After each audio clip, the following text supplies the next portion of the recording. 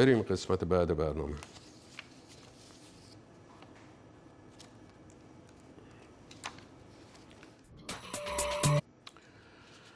خب ببینید ما برنامه ای داشتیم درباره سینما رکس. چند برنامه البته و حدود 20 روز یک ماه پیش برنامه دیگری داشتیم. در این فاصله یعنی بعد از پخش اون برنامه آقای حسین دهباشی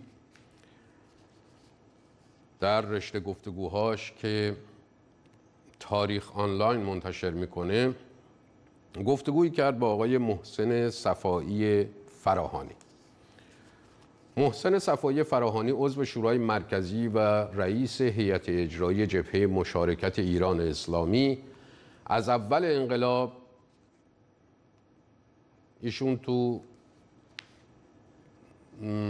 مسئولیت ارشد اجرایی کشور بوده. در دولت میرحسین موسوی معاون وزیر بود. بعد تو دولت‌های بعدی قائم مقام وزارت صنایع و مشاور ارشد وزارت نیرو. بعد نماینده مجلس در مجلس ششم و رئیس فدراسیون فوتبال و مسئولیت های دیگر. آدمی است که هم بین اصلاح طلبا و هم به اصطلاح اصولگراها چهره موجهی است به هر حال.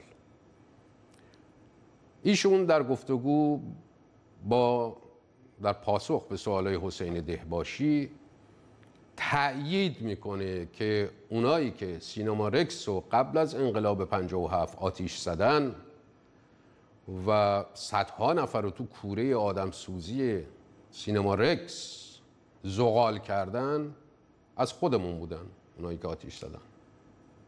و بعد از انقلاب شدن نماینده مجلس. ایشون میگه.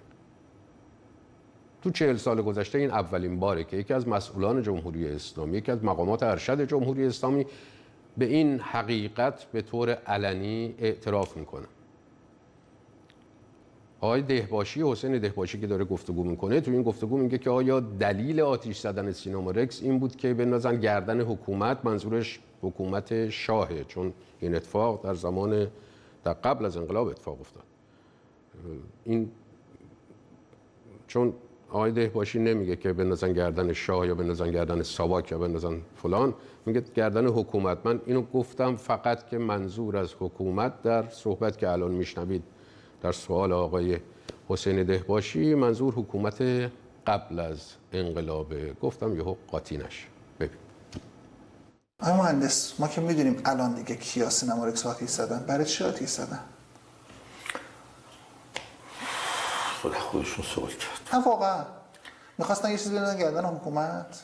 یا واقعا چیزی یا با سینما مشکل داشتن؟ ببینید باز من یه مثال خدمتتون بزنم.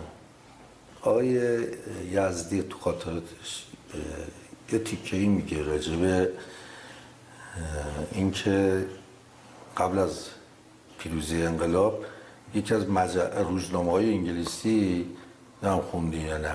این تیکش و خاطرات ندارم. میگه یکی از روزنامه انگلیسی تیتر زد اگه اشتباه نکنم پیروزی نادانی بر ظلم. آه بله. جهل بر ظلم. جهل بر ظلم. بله. فهمیدید انقلاب پیروزی جهل بر ظلم بود. خب ببینید آقای یزدی خودش میگه که من اون موقع که اینو خوندم خیلی ناراحت شدم. بعد که اومدم ایران و بعد انقلاب پیروز شد و مراحل گذشت یواش یواش به این رسیدم که اون چرا اون موقع خوب دیده بود من ندیده بودم. ببینین آن چی که الان هم داره سر کشور میاد همونه. واقعا من به عنوان کسی که چل سال بعد از انقلاب حضور دارم و تو دولت مهندس موسوی قائم مقام وزیر بودم. تو دولت آقای هاشمی مسئول بودم. تو دولت آقای خاتمی مسئول بودم.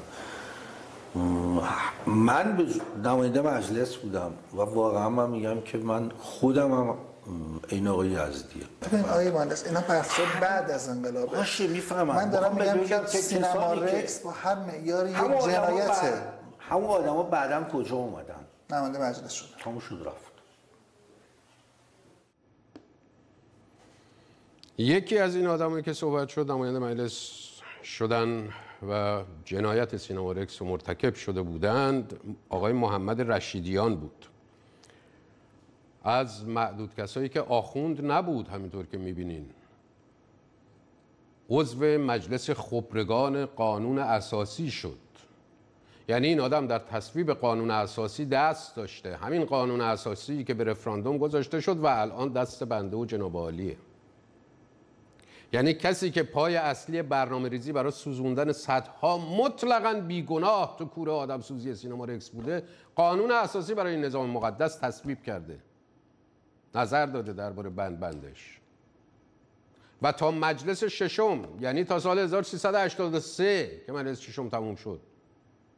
یعنی تا 25 سال بعد از اون آدم سوزی نماینده مجلس شورای اسلامی این نظام بوده.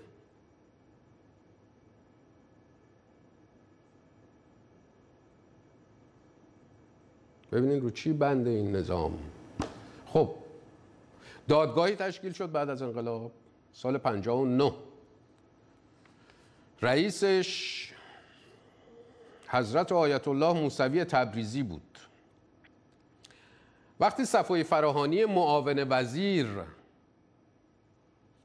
در بعد از انقلاب می‌دونه که کیا آتیش زدن سینما رکسو موسوی تبریزی که دادستان کل انقلاب در دوره خمینی بود نمی‌دونه قطعا خیلی زودتر از صفای فراهانی می‌دونست. رئیس دادگاه بود موسوی تبریزی. بیست و چند نفر رو کشید دادگاه حکم داد که 6 نفرشون اعدام بشن چهار تا حکم اعدام قیابی که تو دادگاه نبودن. 15 تا زندان و 5 تا تبرئه. همه دارایی افرادی هم که اعدام شدن یا براشون حکم اعدام قیابی صادر شد مصادره شد. خانواده هاشون هم در به در شدن.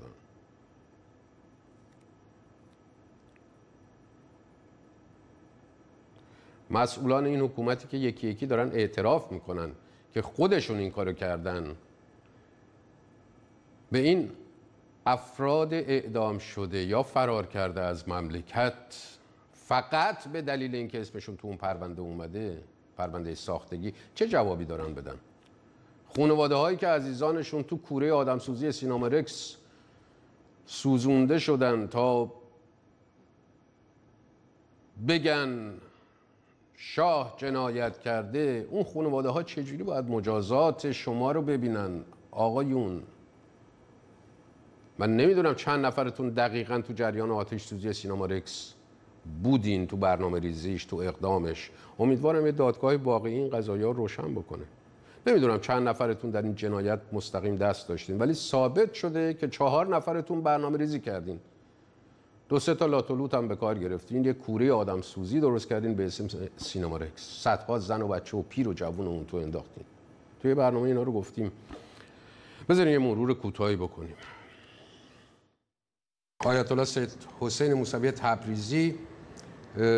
که هنوز نمرده الان هست. دبیر مجموعه محققین و مدرسین حوزه علمی قم رئیس خانه احزاب جمهوری اسلامی و دادستان کل انقلاب در زمان خمینی بود. این رئیس دادگاه بود رئیس همین دادگاهی که دیدین به اصطلاح. غلام حسین جمی حجت الاسلام سردفتر ازدواج شماره 45 آبادان بود دهه چهل. همزمان میشه امام جماعت مسجد دشتستانی ها نزدیک های انقلاب یکی از جایی که سخنرانی می‌کرد حسینی اسپانیا بود تو آبادان. نماینده امام خمینی و امام جمعه شهر آبادان بود. غلام حسین جمعی در دی ماه 87 در سن 87 سالگی مرد متاسفانه و نشد که اینا رو بشنوه و یکی بره ازش جواب بگیره. محمد رشیدیان زاده 1317 بهان نماینده مجلس شورای اول دوم سوم و ششم نماینده مجلس شورای اسلامی. نماینده مجلس خبرگان قانون اساسی هم بود از خوزستان سال 92 مرد. محمد رشیدیان در طرح برنامه ریزی این جنایت از عوامل اصلی بوده. هیچگاه در جلسه دادگاه حاضر نشد و موسوی تبریزی رئیس دادگاه گفت چون آقای رشیدیان به کار مهمی مشغول است ما تلفنی از او سوالاتی کردیم و اگر لازم شد از او دعوت می‌کنیم. محمد کیاوش زاده 1309 اهواز نماینده دور اول و دوم مجلس شورای اسلامی از استان خوزستان. اسمش قبل از انقلاب سید محمد عربی بود و مدتی هم از رادیو آبادان برنامه مذهبی اجرا می‌کرد. اسمش رو به کیاوش تغییر داده بود. در جریان انفجار حزب جمهوری اسلامی در تیر 60 قسمت زیادی از بدنش سوخت و شد جانباز 70 درصدی.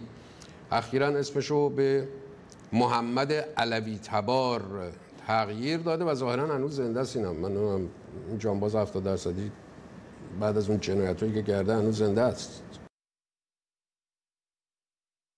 تا یک سال و نیم بعد از انقلاب به هیچ وجه مسئولان جمهوری اسلامی نمی‌خواستند دادگاه سینما رکس برگزار بشه. از جام سرهنگ بیاد بشنویم در برنامه که داشته ما آبادان وقتی می‌بینن که این دادگاه تشکیل نمیشه 400 نفر از مردم آبادان میرن داخل اداره دارایی آبادان که ساختمانی است بین سینما رکس و شهربانی آبادان تحسن می‌کنن. در اونجا معمولین کمیته میان این مردم را با چوب و باتون بیرون کنن بیرون نمیرن. آب به زیرشون باز می‌کنن که نتونن بشینن. معلوس دو ماه این مردم در آنجا میشینن. بعد از اینکه این دو ماه میشینن اتفاق میفته یه شب من بعد از ظهر در منزل هستم تلفنم زنگ می‌زنه. تلفن رو برمیدم از آبادان یکی از افسران شهربانی آبادان. میگه فلانی مواظب خودت باش فردا با این شماره تلفنی که من میدم تماس بگیر سال 59 سال 59 این, این که میگم در حدود اواخر تیر 59 خب. من فردا تلفن تماس می‌گیرم میگه که دیروز قبل از این معترضه بگم ما یک نفر نفوذی در داخل انقلابیون داشتیم قبل از انقلاب. این آدم برای اینکه ما این لوش ندیم بعد از اینکه انقلاب پیروز شده باز اخبار داخل کمیته ها رو می آورد به شهربانی می‌داد همون شخص به شهربانی که در واقع به شماها که مال بله. افسر شهربانی قبل از انقلاب بله افسر همون افسر مونده بودن در آبادان صحیح صحیح, صحیح. بله بله. مخصوص همون افسری که با این شخص در تماس بود من نمی‌خوام اسمش ببرم بله بله. چون این افسر که مونده بود اون با اون شخص ارتباط مستقیم داشت اومده میگه که دیروز جلسه در همون کمیته 48 تشکیل شده. تمام سران کمیته به انقلاب آبادان در اونجا حضور داشتن. گفتن حالا که این مردم حاضر نیستن دست بردارن ما هم ای از سران وقت سینما رکسه آبادان را می‌گیریم میاریم اینجا اعدام می‌کنیم تا قضیه خاموش بشه. شما نفر سوم لیست هستی. مراقب خودتون باشید. این شد که اینا مجبور شدن چکار کنن؟ دادگاه را تشکیل بدن. البته جام سرهنگ بیاد طبق لیست اعدامی هایی که منتشر شد لیست اعدام های قیابی ایشون نفر چهارمن. فکر می‌کنم داشته باشیم. بله. یک علی اصغر ودیعی دو سرتیب رضا رزمی سه سرهنگ محمد علی امینی چهار سرهنگ اردشیر بیات رئیس پلیس آبادان که بعد از اینکه اون فرد خبر میده به ایشون از همون زمان کشور رو ترک می‌کنن علا رقم خواستشون و هرچی تو ایران داشتن مصادره شد و چهل ساله که به در واقع تبعید اجباری آمدن. این یک نمونه است که موسوی تبریزی صرفا با اتهام ساختگی دست داشتن در آتش سوزی سینما رکس و نه هیچ جرم دیگه ای حکم اعدام داده. به حال همون موقع سرهنگ از کشور مخفیانه خارج میشه و دیگه هم نمی‌تونه برگرده به ایران. حالا بعد از صحبت که از صفای فراهانی منتشر شده الان لطم خوردگان از اون جنایت از اون فاجعه چجوری می‌تونن در واقع لطمه خوردگان از دروغ تاریخی دادگاه سینما رکس چجوری می‌تونن دنبال کنن پرونده رو؟ آیا اصلا می‌تونن دنبال دادخواهی باشن و برگزاری دادگاهی دیگر و مجازات مجرمان؟ برای مثال آیا مشخص ظرفیت دستگاه قضایی ایران منظورم همون ظرفیت اسمیشه همون چیزی که نوشته شده دربارش.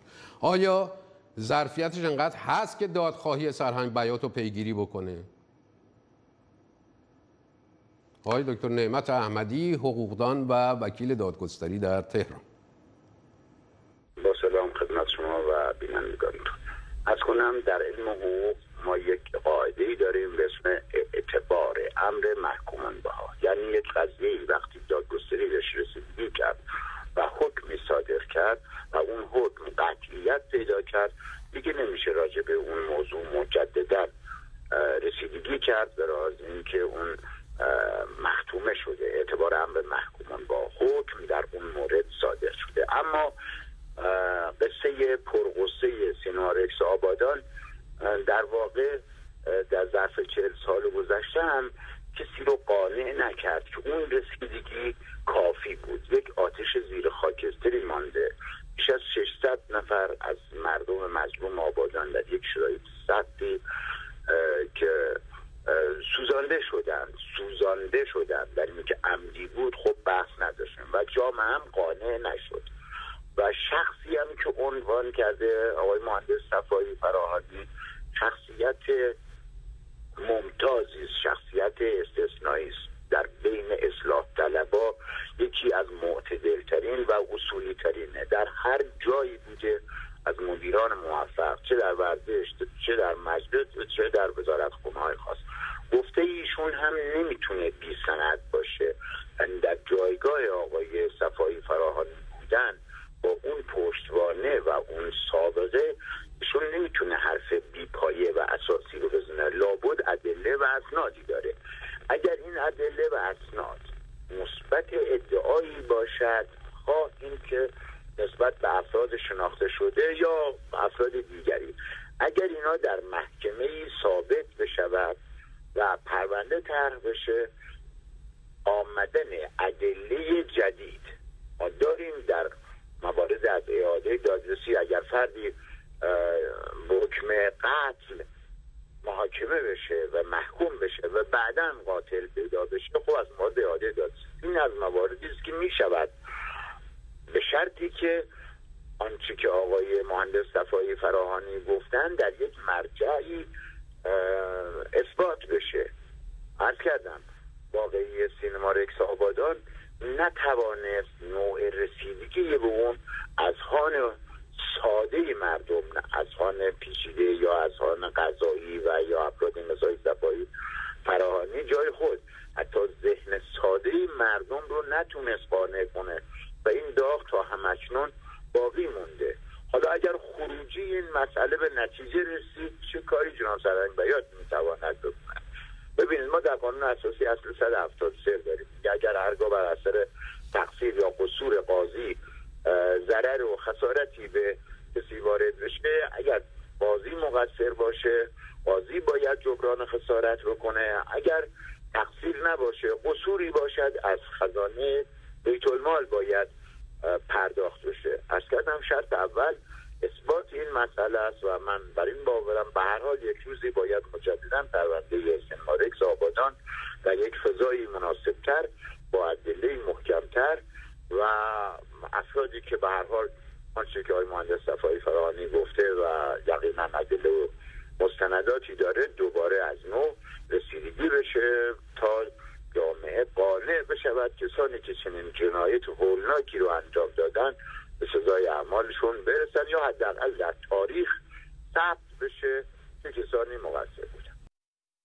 ممنونم آقای دکتر. نعمت احمدی حقوقدان و وکیل دادگستری در تهران.